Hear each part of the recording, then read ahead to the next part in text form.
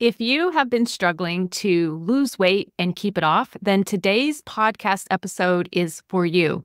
Today, I'm welcoming my friend, Lindsey House, on the podcast. Lindsey is an author, dietitian, and personal trainer with a strong focus in accountability coaching. Lindsey is incredibly passionate about rewiring the rules of what success should feel like in the health and fitness world. She believes that we have to leave the all or nothing mentality behind and celebrate small daily efforts. Lindsey believes that it's the small changes that will provide the ultimate success to what we are seeking. Lindsey is the podcast host of Direction Not Perfection and believes that change is in the showing up and that we should all be thriving throughout our days, not just surviving. In this podcast episode, Lindsey and I discuss how to turn away from that inflammatory diet culture mentality? What are some of the real health success metrics that we should be paying attention to and monitoring? Some of the pitfalls that Lindsey and I have both experienced when we've embraced black and white thinking. And what is the secret sauce to successfully losing weight and maintaining weight loss in the long term? I hope you will enjoy this awesome episode with Lindsey House. Well, thanks for joining me today, Lindsey House. I'm super excited to have you on the podcast and talk all things about nutrition, accountability, and diet mentality. I'm so excited to be here, Sherry. Thank you so much for having me. I feel honored. Well, let's get started. I love the topic that you really like to talk about on your podcast and when you're guests on people's podcast and kind of what you're all about is turning away from this diet mentality. I think so many of us have grown up in the 80s, 90s around the diet mentality and the cover of magazines and thinking a size two is perfect health. And I'd like you to dive into that. And what are your thoughts about turning away from this diet mentality? And, and am I even explaining it the way you think of diet mentality? Um, yes, absolutely. And I think the easiest way to segue into this is more with a story, because then I think your listeners will go, I've been there, I've done that. And this all stemmed back from I was working an outpatient job as a dietitian, and I would have to go pick up my client, my patient, out of the waiting room. And so we'd have this little bit of a walk where we would chit chat about how'd your week go, you know, and there was this excitement of I walked more or I did my meal logging or just exciting things. I got on the ground and played with my grandkids, and I noticed when I stood up, my knees didn't hurt. So there was this wonderful flow of conversation for the most part, not always. But then once I put that patient on the scale, that if the number wasn't exactly what they were hoping for, I would lose them. We went from smiley and proud of results to they weren't with me anymore. They were disappointed. And sometimes I found myself back at my desk, like flipping through the chart. What did oh, did they gain? Blah, blah. And sometimes they didn't even gain. Sometimes they just maintained. It just wasn't the number that they were expecting. And it took an entire hour session to to like come back from the scale, talk about all the positive things where they were then back in a good mental spot to talk about forward actionable steps. And that just was incredibly frustrating to me because one, I felt for them, like my heart hurts for somebody when they can discredit all of that beautiful work in one moment because a scale was giving them their their ability to be joyful for the day or not. And i think that's what i'm bringing up if any of your listeners are going that is me. I've stepped on the scale in the, on the in the morning and noticed you know for the rest of the day i'm irritable. I, my family doesn't get me how they want to get me because i'm not I'm not showing up because I'm already it's already ruined my day. And I feel like at that point I was just like I'm I'm a little over people using this as a measurement of success. So I did go far spectrum of scale smashing because it just felt good for my clients as well as something to visually show like this doesn't have to be it. I know but, I saw that picture on your website. I loved it. Yes. Yes, I have a little 60 second clip that I can throw your way for the show notes, but it's kind of for anybody who's just in that mental space and needs to see those numbers fly. Agreed. And I find that in some of my clients that I work with as well, the scale, it like is their worth for the day. You know, it, it's their badge of did I do good or did I not do good? And that's not even a true marker of health.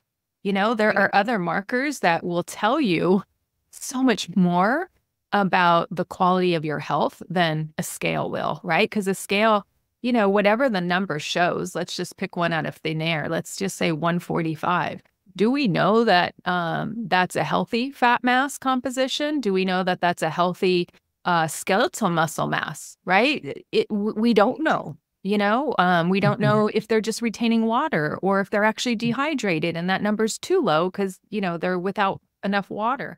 So we just don't even understand, you know, that number. And it's amazing how much we interpret that to mean we're good or bad or we're on track or off track when I just think there's so many other metrics that can tell us so much more and I think would be even better markers to monitor than just the pure weight. Not saying we have to throw out the weight or throw out the scale, but it's just not something that I want telling me how I should feel that day, right? Uh, and um, take over my mental space and my emotional health, as you said. What are some metrics that you find would be more helpful or that you work with and your clients begin to measure or monitor?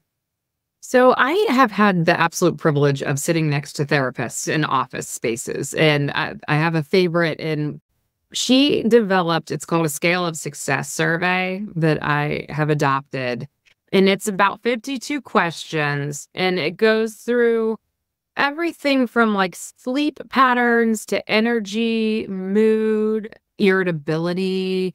And and it's this way because I think all of these markers that you and I are talking about they're ambiguous, right? It's very hard to nail them down and say, I've really improved. I've noticed a 1% increase in my energy, you know things normally have to be a lot more drastic than that for us to give ourselves credit for it.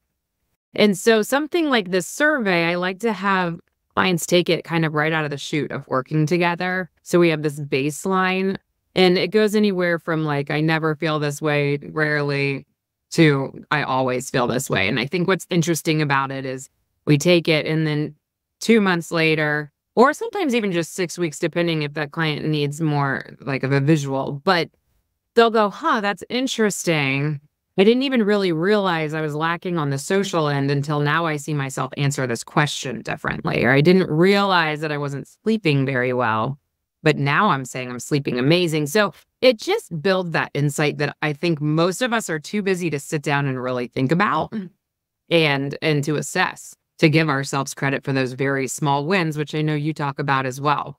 Mm-hmm. Yeah. Yeah, exactly. And I like that you are, it's more holistic, it's more comprehensive. It's not just this number on the scale, which is kind of arbitrary, as we just discussed, but mm-hmm. other markers of health, right? We know if you don't get enough quality sleep, right, that can affect so much, including your weight.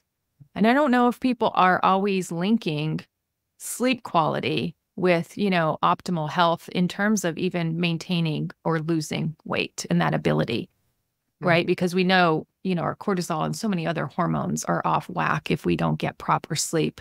And so I love having all those metrics, right? Really taking that holistic approach and helping the client see it from just a broader perspective of gravitational pull on this device, well, I feel that if we don't have some of that to come back to that is a little bit more tangible, it's laying mental foundational work with weight loss, as you know, that people get frustrated because the pounds aren't falling off quick enough. Like they lose their momentum in the journey if they can't see success. And so if there's nothing to point them back to, because there's so many times where they're going, yeah, but, yeah, but I, I didn't see that scale move. It's like, honestly, you might not for a bit until if there's a lot of mental work to do, then that might take months to even years before all of a sudden that foundation is laid. And now, now the ripple of weight loss comes with it. But how hard to stay on that journey if we're expecting only weight loss to be our medical marker? And it was interesting that, and you mentioned sleep I had a guest one time say that sleep is the Swiss Army knife of health. It affects everything, you know, and that's exactly what you pointed out. And it does. So if we're missing all these other elements, then we're missing the big picture of health, of what's going to give us longevity. That's a great analogy, the Swiss Army knife. You know, you said something there that I really want to highlight for the audience and the listeners. You know, sometimes you want weight loss and you had mentioned, but maybe there's things getting in the way for that person mentally, right? And I love how you pointed that out because we know that we don't walk around as two separate units. There's a head over there and a body over there. We know that they are connected. And so I think mm. a lot of people don't see how their own head gets in the way of their body doing what it is designed naturally to do, meaning stay in homeostasis, meaning balanced hormones, meaning the body knows how to heal, right? You cut yourself, it's going to, you know, coagulate, stop the bleeding, and it's going to scar. The scar is going to peel off, and then you're back to wholeness. So I think there's so much innate wisdom in the body, but we're just using our head too much or in a way that doesn't serve the body to make it feel safe to lose weight, to balance mm-hmm. the hormones. Maybe we have a trauma that needs to be dealt with. Maybe there's some limiting beliefs getting in the way that we can actually embody a body that feels good and can function well for us. I just love how you talked about that about, you know, really maybe there's some mental work to do before the actual weight loss starts to happen. And I love I just had to highlight that for the audience so that they heard that message. No, I appreciate that. And I'm going to piggyback on it for a moment because you mentioned limiting beliefs. And I think it's really important to point this out. A lot of us have this limiting belief, and you mentioned separating kind of body and, and mind, that if we accept our body and we're actually like living in homeostasis with we accept it we love it then we don't believe that we're still fighting for goals. We believe that it's one or the other. If we settle and we're happy then we are just saying we don't care if we ever lose the weight we don't care if we ever get as healthy as we're going to get we've just settled. When it's that's false. There is this actual it's a dichotomy of i can love myself and i can also want to change and I think that's important for people to hear because they don't believe that necessarily. And you might not even believe me while I'm saying it out loud today, but you can love yourself and you can still want to change all in the same day, all in the same breath. Yeah. But and I, I love that in highlighting that self compassion because just with my history of hating myself because of how much I drank mm. and mm. trying to white knuckle, not drinking, I'm not going to do it and then I would, you know, be successful. And my definition of success was absolutely zero drinks, right? There was no drinking less. That's not good enough, right? 50% reduction, that doesn't mean anything. It has to be perfect. Mm. So if I met all 30 days without a sip of alcohol, then I can quote, give myself the pat on the back and badge mm-hmm. of honor and all that. And it wasn't until I was like you said, dropped into that self compassion piece and said, okay, my drink count was whatever, 37 for the week. I'm going to love myself because I'm still alive. I didn't hurt anybody. And I know it's a pattern I want to change. And I'm going to love myself through the journey because I'm going to learn so much more about myself and it's going to be easier as I learn that self acceptance piece and that self compassion piece. And it didn't make me want to stagnate and stay at that same drink count. It mm-hmm. actually, when you start loving yourself or start having mm-hmm. compassion mm-hmm. for yourself, it's like, oh, yes, I could still do these mm-hmm. behaviors and still want to get better. And that could be by that small incremental change. So I love your take on the binary thinking of the brain because my brain is always in that black white, perfect, not perfect, right? There's no like gray area. And once I allowed more gray area to come in in in these pieces where I wasn't allowing gray area and dropping into more of that compassion, I realized that change was not only possible, but it would happen a bit quicker and not backslide, right? Not backslide. Mm-hmm. Because then you're in that hate cycle that makes you want to drink more or eat more or eat right. the wrong things. And yes. then, you know, you're just bouncing back and forth to I need bliss with the food or the drink to I hate myself without it. Yes. Yes. This is why I've loved you for so long. I've literally binged on your episodes for years now. And one of the first pieces that caught my eye and my ear was the everything you're talking about with your journey of drinking. You can easily flop over to somebody's journey with eating and and the black and white thinking and that I'm either really good or I'm off. And so, and I'm sure all of your listeners just did that. Like, I can see myself doing that with food. I can see myself doing that with exercise. So, all these topics overlap. And I love how you also always approach drinking with it's even if it's negative for us, it's serving us somewhere. And, and that's the same thing with food and fitness or lack of fitness. You know, it's something serving us. So, we have to love ourselves into the next change so that we can actually want to do it.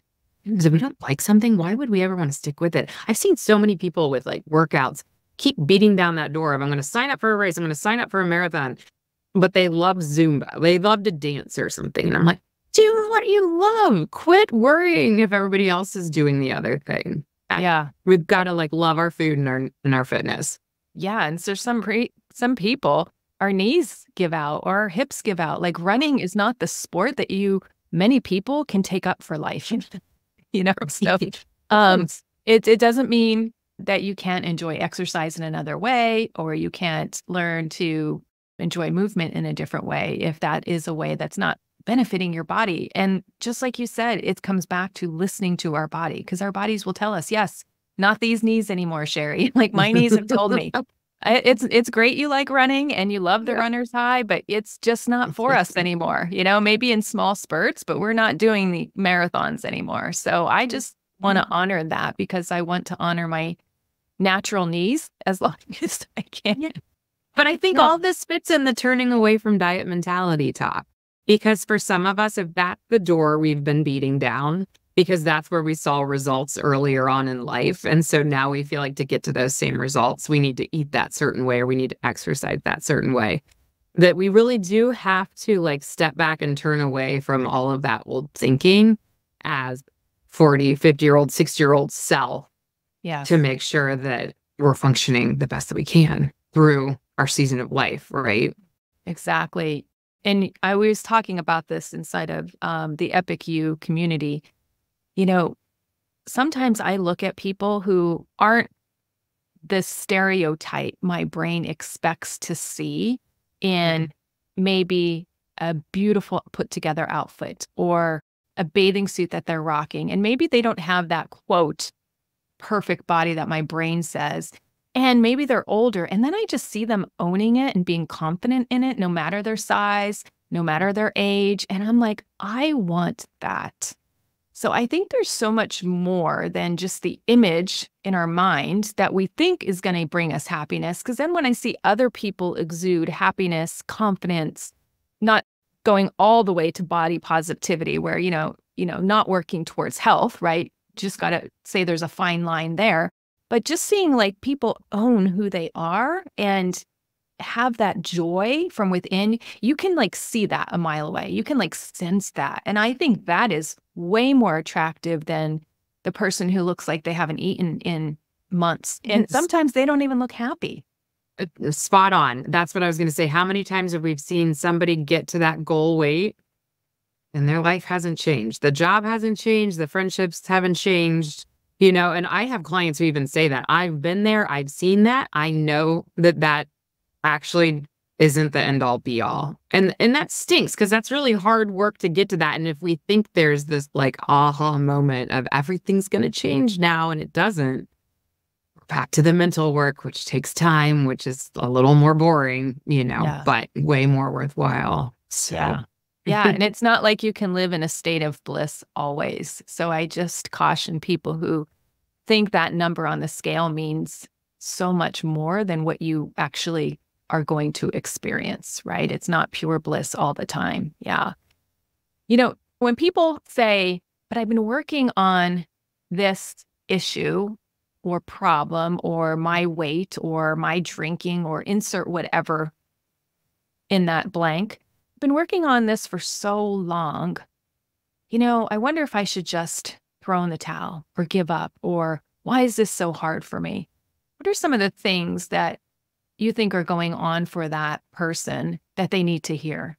This is like my favorite question because I think this is everyone, right? Anyone who's been battling a health journey for as long as they've been battling, some people since, you know, before the teenage years, even, there becomes this disbelief of I'll ever actually get to where I want to go. And I think one of the coolest parts about really being coached through a journey, and I know you do this with your individuals as well, you've seen them get to that point where they're like, oh my gosh, I'm a different person, right?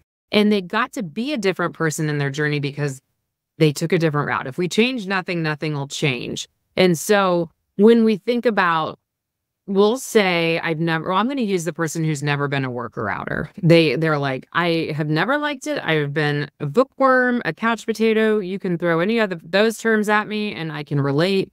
And you want me to get out and work out every day to be healthy? No way. So the the problem is not that they're not capable of working out. It's that they've had the shoulds of how to work out for so long that they kind of forgot that they had a choice in the matter or they kind of forgot what they even liked in the first place. And we can transfer this over into all of our other categories too with food and whatnot. But this is the work that has to be done within the journey. And I call it fitness personalities or nutrition personalities. It's really diving in and discovering like, what did you used to like? And if you've never found something activity wise that you liked, what could we start trying now? And we might need to try 20 things before the one thing kicks in and goes, This is it. I like it. For whatever reason, this is my thing. Mm-hmm. But I I don't believe that individuals give themselves long enough on the journey or give themselves enough credit that they in fact already have the answer built within them not that somebody from a diet program is going to hand them the answer because I still have people say, Can you just hand me a food plan? Can you just hand me a fitness routine? I can. You won't follow it, or you'll follow it for a month and then you're going to fall off because it's not your thing. It's not your excitement level. It's not what is clicking in your schedule because that's huge and we have all these components right from time to energy to are we a social worker outer or are we an introvert do we want to put in our earbuds and like please don't talk to me there's all these components and unless you have somebody sitting across from you kind of hearing you go and then you can dwindle it down and go let's stop doing this behavior let's stop training for a marathon and can we just try this Zumba class? Just see if it brings you any joy. And then if you notice getting out in a social situation at the end of a long workday is kind of the last thing you want to do, then can we try a YouTube video that you just plug push play at your own house? Like there's just a thousand different options. And until we've exhausted them all, no one's a lost because mm-hmm. Yeah. Yeah. And I like how you said that because that um, resonated with me. I've shared I think on the podcast, but certainly in my community, is, you know, exercise has been always this on off thing for me. Like I get into it, I start going good, it fits into my schedule, my schedule's rocking. And then we're a family that likes to vacation a lot. So then we go on vacation and then you come back and there's the laundry and the mail and the emails and all the to dos. So, like, the workouts get pushed out a week and then they get pushed out another week. And then all of a sudden I'm like, wait, I've been back for three weeks and I haven't been back to the gym. Then you get all mm. the guilt and the shame going. So, like, that used to happen to me a lot more than it does now. You know, we're on again, off again, on again, off again. And, you know, battling the mental drama that I would pile on top of the time away. So now I've learned that fitting in exercise, not every day on vacation, but fitting in some exercise. Now, that could look different. You know, some of the places we stay, they're boutique they don't have the workout facilities there. So we just might get in more steps that day, you know, and it looks a little different. Or we might see a hill and say, okay, let's do that hill twice and climb up a hill or go hiking. And so fitting it in and while I'm doing that, saying this is my exercise. So I'm not losing the identity that I gave up on myself or I had too much bread or pasta in Italy. Like, no, I'm still taking care of myself even while on vacation. And it's not just a free for all, like a drunk fest, or I get to have all this wine or all this limoncello or whatever it is, right? But really saying, no, I take my health with me.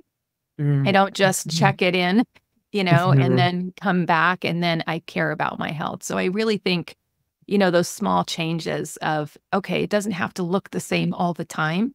And it can morph depending on your season of life. Um, if you're a family that travels a lot like ours, and, and, you know, how do you bring that with you so you're not feeling like you're doing this start stop cycle?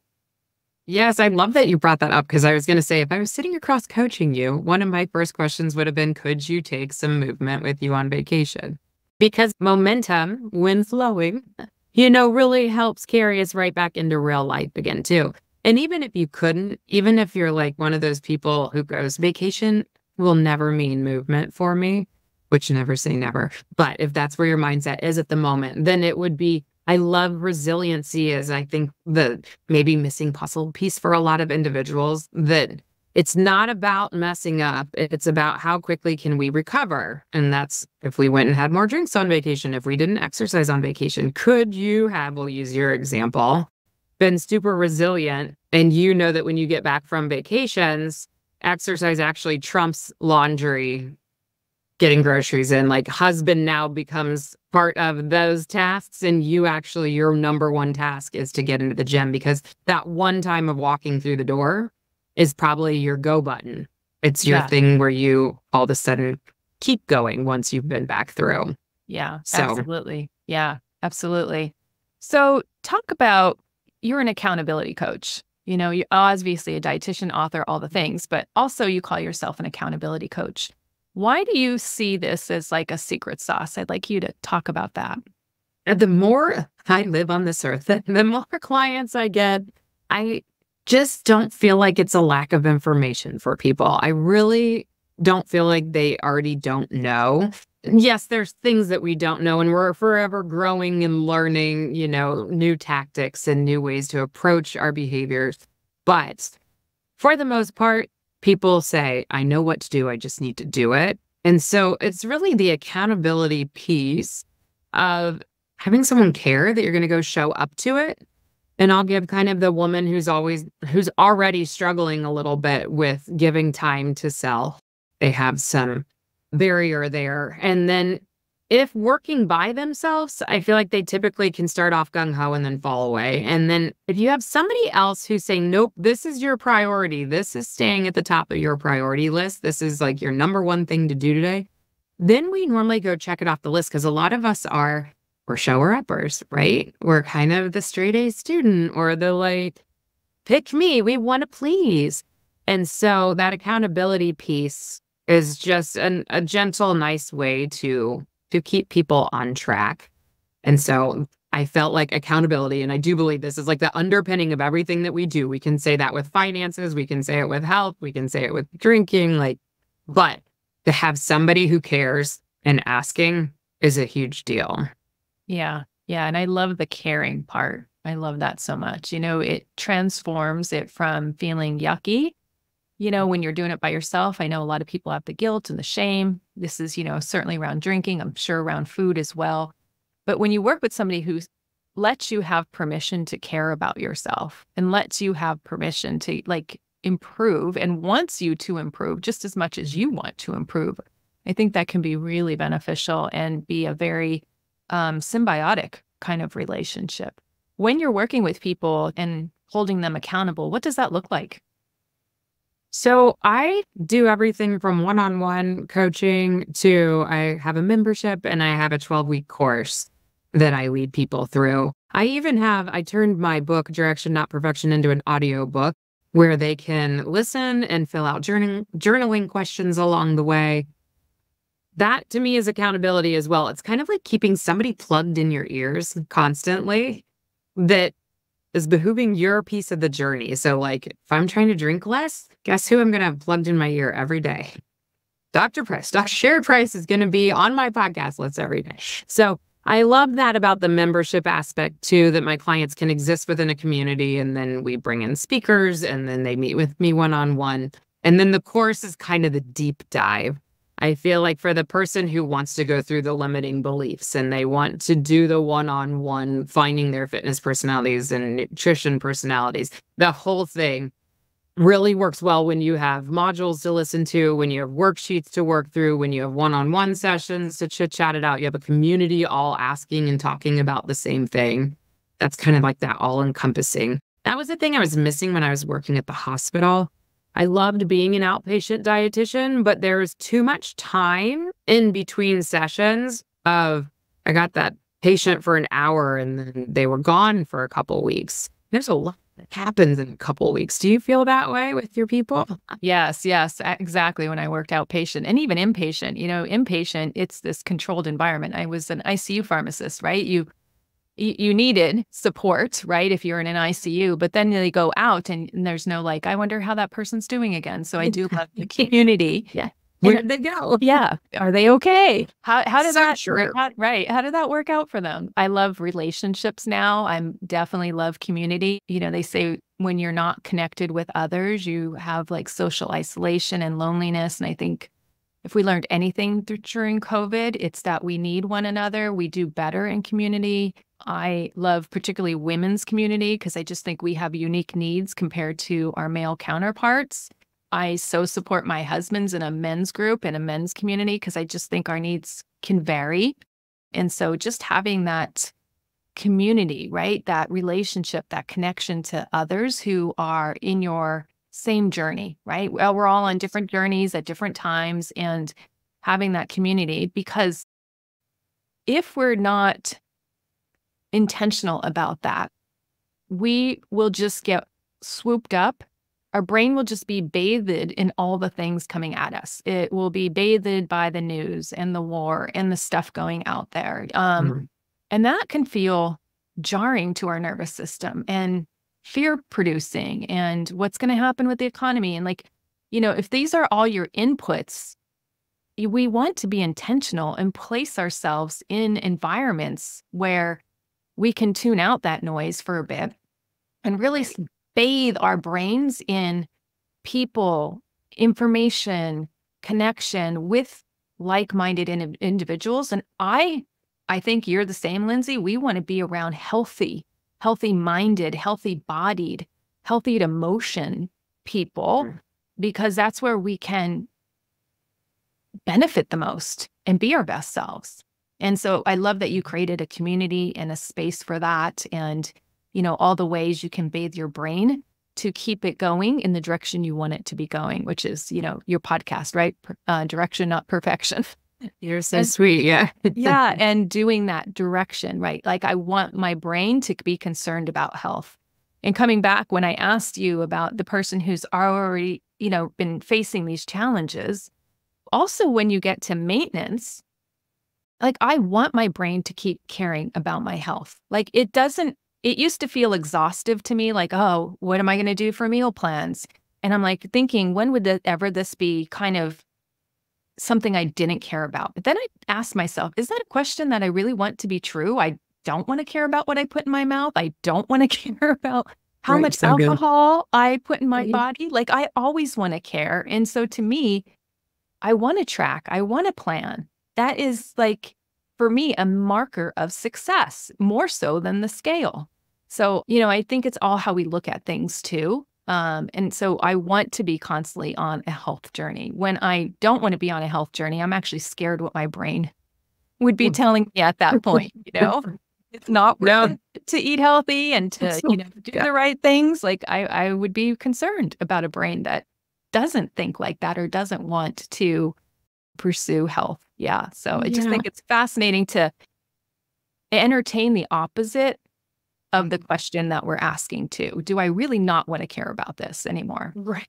Well, and I feel like for the person who might have just listened to you and goes, I hear you, but I'm so far from that healthy, easy spot because you make it sound in a good way. Like it's not easy, but it's delightful in a sense that if you are one of those people feeling like it is all consuming and I'm overwhelmed and it all feels hard, that's just because you're at a different place than Sherry is right now. Like we all have this journey and I keep doing this spectrum thing, but you're you might be more at the starting point, you know, and it and you're where the grocery store overwhelms you.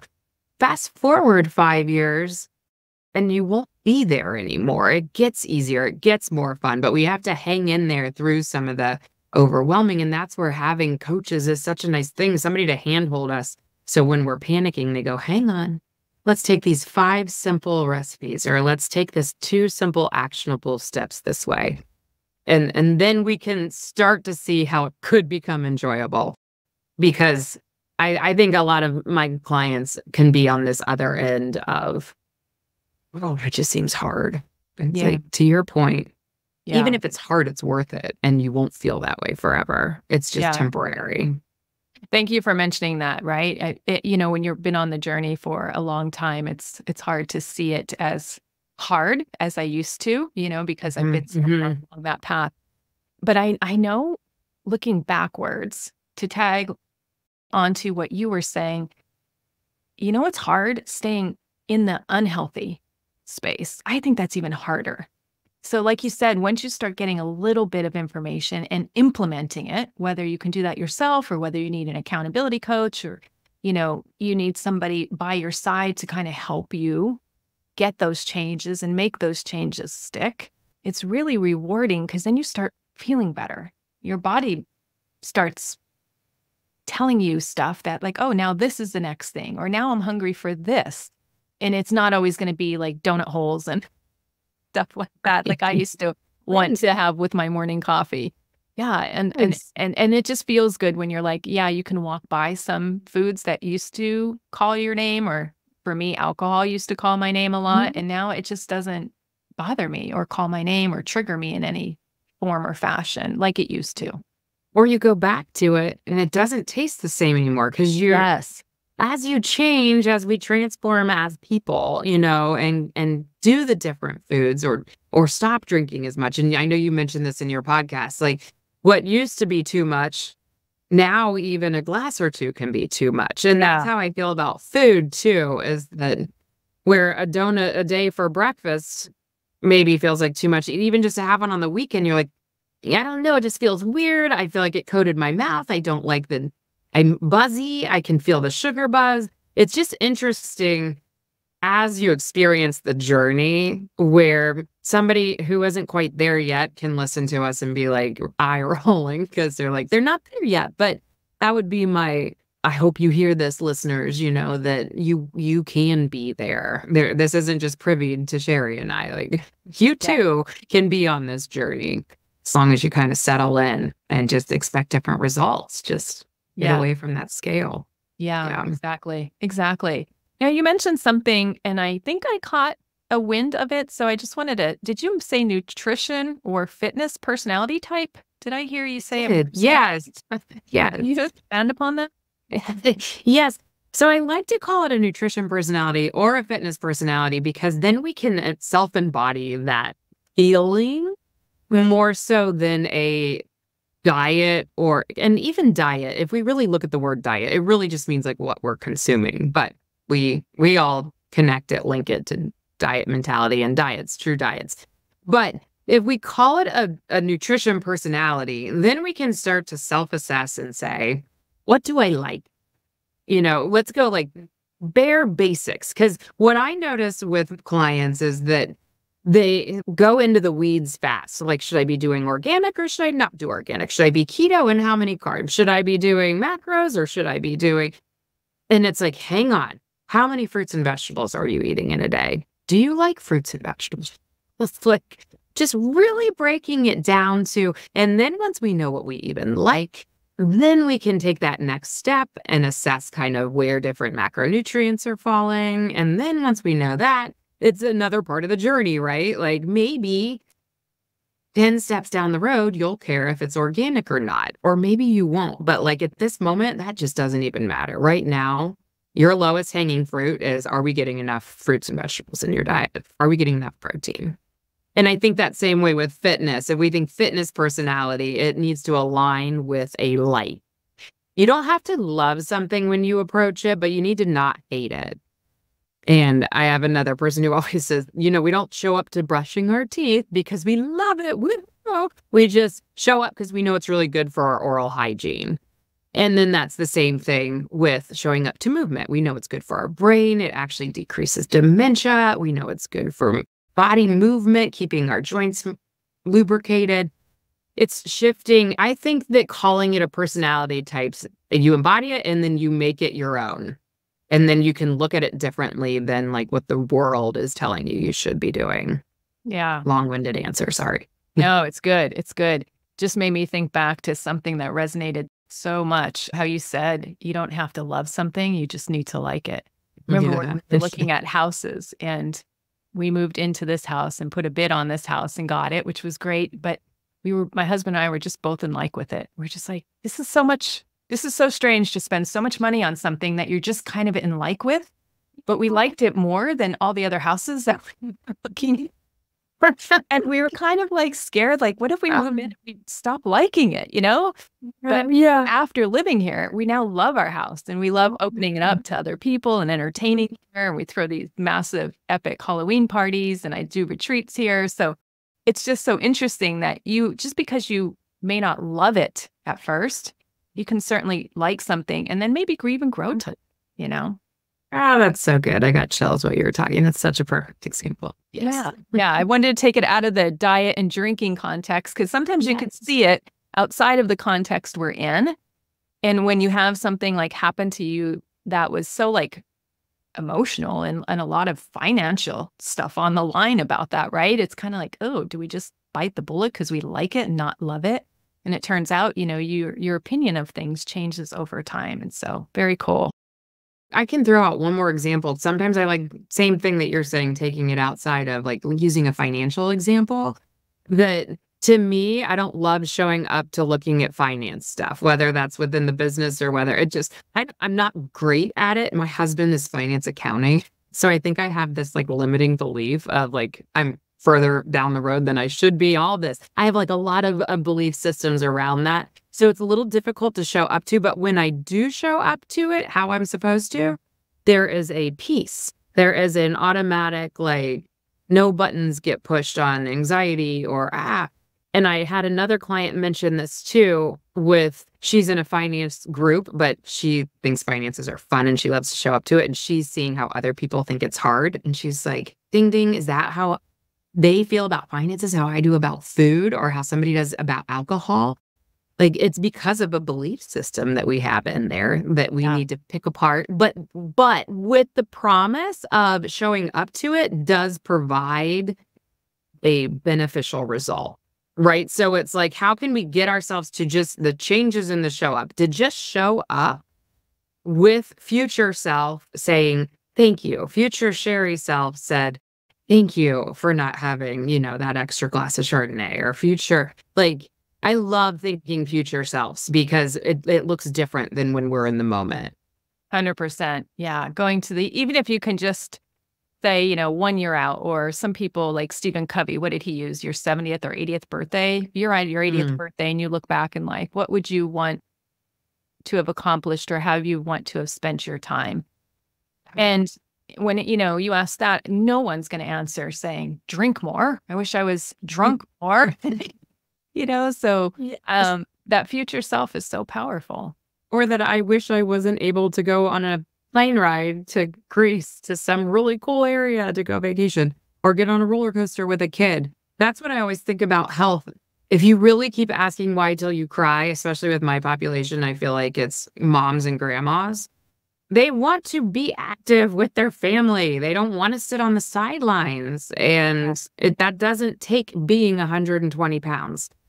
That takes showing up to activity and showing up to good nutritional value, right? Yeah. Yeah, exactly. Yeah. And do your grandkids really care how much you weigh? I actually prefer you a little more comfy. Yes. This has been such a great conversation, Lindsey. Anything else that I should have asked that I didn't ask or that you want to share with the audience?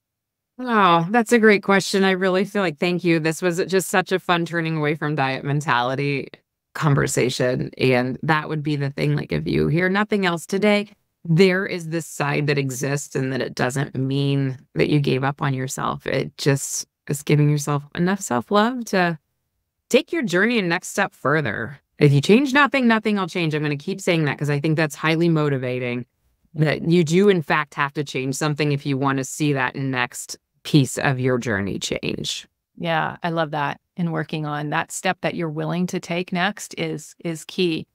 Well, I know of your awesome podcast called Direction Not Mm-hmm. Perfection, mm-hmm. and I know you're an author. Tell my listeners if they want to learn more about you, how to find you. All right. My podcast is the best. Again, Direction Not Perfection. It's anywhere that you listen to them. I have a YouTube playlist if you just wanted to dive in and hear. We did a drink less lifestyle that Sherry kicked off for me. If you just want a PT type lesson, like they're all segmented hormones, perimenopause. And then my website is healthaccountabilitycoach.com, and that's all one word. And then you can find me at House Lifestyles on Instagram and Facebook. And I would just love to chat. I, I do return messages and emails. So it will be me, not a robot. Lindsey, you are so awesome. I so appreciate our friendship. And thank you so much mm-hmm. for coming on the podcast. You too. Thank you so much.